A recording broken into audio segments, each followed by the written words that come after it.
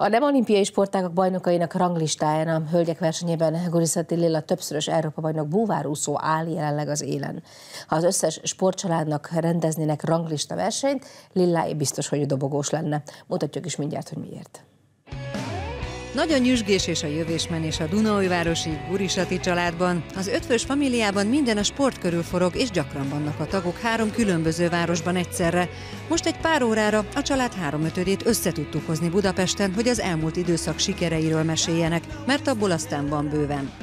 Gyula a család fő többszörös világbajnok, Európa-bajnok és több mint százszoros magyar bajnok búvárúszó, akinek 15 éve egy baleset következtében amputálni kellett mindkét lábát tértől lefelé. De ő nagy küzdőként nem adta fel, és példaértékűen újra kezdett mindent, azóta sikeres parasportlövő és paralimpikon. Éppen a tatai edzőtáborból érkezett a fővárosba. Azért jöttünk, mert a Magyar Búvár Szakszövetségbe eh, az évvégi jutalmazás lesz, és az év sportolója címet, illetve az év edzője címet eh, nyertem el az utánpótlás korúaknál. Két nagylánya kiskorában a búvárúszást választotta, és Lilla maradt is ennél a sportágnál. Nagy tehetség, megszámlálhatatlan korosztályos érme van, 2014. augusztusában pedig a felnőttek között lett Európa bajnok, és most ő is a díjátadóra jött édesapjával. Én lettem a tájékozódási búvárúszók közt a junior év sportolója. Gréta 15 évesen országos csúcstartóként, többszörös korosztályos magyar bajnokként hagyta abba a búvárúszást és a vízilabdát választotta. A junior és ifjúsági női vízilabda válogatott egyik legeredményesebb játékosa és csapatkapitánya. Ebből kifolyólag ő is rendszeresen ingázik Dunaújváros és Budapest között, de most nem emiatt van a fővárosban. Apukámat és a tesómat elkísértem a búvárúszó díjátadóra, Gyula felesége Edina búvárúszó edzőként és oktatóként dolgozik. A legkisebb családtag Gergő Dunaújvárosban most kezdte el az úszást. Szóval zajlik az élet Gurisatiéknál, ami a sporteredményekben is megmutatkozik. Idén augusztusban Lilla, a tájékozódási búvárúszó EB-n a junior mellett a felnőtt mezőnyben is aranyérmet szerzett. Csoportos tevékenységben pedig 40 éve áhított sikerhez vezette csapatát. Felnőttben most már harmadik éveim vagyok a főtájolós, ez azt jelenti, hogy négyünket a végéig én vezetem be a célkötérre, és idén egy hibátlan pályával, hát a világtörténelemben először magyar csoportos nyerte meg az Európa-bajnokságot. Gréta a női junior válogatottal VB bronzot szerzett, az ifjúsági válogatottal pedig negyedik helyen végzett. Mindkét tornán szenzációsan játszott, gólkirály lett, és ami még fontosabb számára, hogy csapatkapitányként is becsülettel helytált. Szerintem nagyon nehéz 13 lányt összefogni, hogy nagyjából mindenki ugyanazt akarja, de sikerült azt az egy pontot megtalálnom, ami tényleg mindenkibe közös, tehát a vízilabda, és az, hogy ki miért csinálja. El is tört a mécses, mind a kettőnknek, a feleségemnél és meg nálam is, mert tényleg nagyon jó sikerült ez a, ez a nyár a mindkét lánynak. Gyulának azonban nem minden a terveknek megfelelően sikerült a nyáron. Júliusban volt a világbajnokságunk a, a paralövészekkel, és a kedvenc számomba végig a harmadik, negyedik helyen voltam, és az 50 harmadik lövésben, jól emlékszem, nagyon erős szél fújt, és az egyik lövésem, amit már nem akartam elsütni, hanem le akartam rakni a fegyvert, belesült, bele, belesütöttem.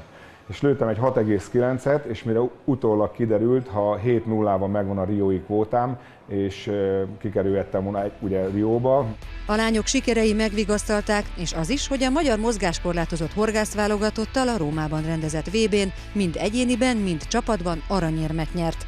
És ahogy őket hallgatjuk, felmerül a kérdés, hogy megfelelő hátország nélkül tudnák-e ezt a pörgős életet művelni. A feleségem, aki a, a, azt a családnak a, a hátterét biztosítja, tehát nélküle egyikünk se tudott volna szerintem nyerni. Van otthon egy naptár, ahova mindenkinek be van írva, hogy kinek mikor van meccs, verseny, ö, edzésre, ki hova. Volt olyan például, nem is tudom, talán idén nyáron, hogy öten voltunk négy különböző kontinensen, és hát ennél többet szerintem nem kell ahhoz hozzáfűzni, hogy mennyit találkozunk. Ez nem csoda, hiszen a sport mellett Lilla például három iskolát végez egyszerre, ügyviteli titkár, pszichológus asszisztens és gyermekpszichológus asszisztens szakra jár. Gyula a saját edzései mellett részmunkaidőben dolgozik, továbbá ugye búvárúszó tanítványaival foglalkozik. Gréta életét teljesen kitölti a napi két edzés, plusz a kondizás klubjánál és a továbbtanulásra készülés. Apukájának megvan erről a saját véleménye. Hogyha avval a mentalitással, avval a az akarással, avval a céltudatossággal, ami ő, amivel ő rendelkezik, a vízilabdába be fog érni, akkor egy világklasszis lehet, és én úgy gondolom, hogy ezúton nagyon jó fele tart. Sokat számítanak a lányoknak édesapjuk szavai. Lilának külön felhajtó erő, hogy az apukája az edzője.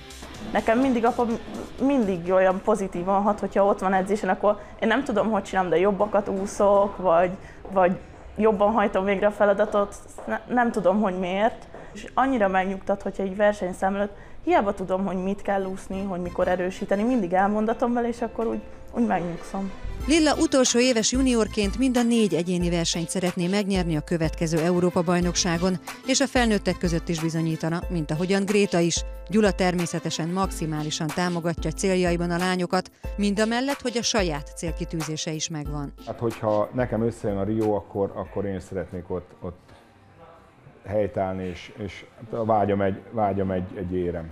De egy valami még ennél is fontosabb. Hogy ő nekik mindent biztosítsunk a feleségemmel, gondolom Edinának is ugyanez a, a, a meglátása.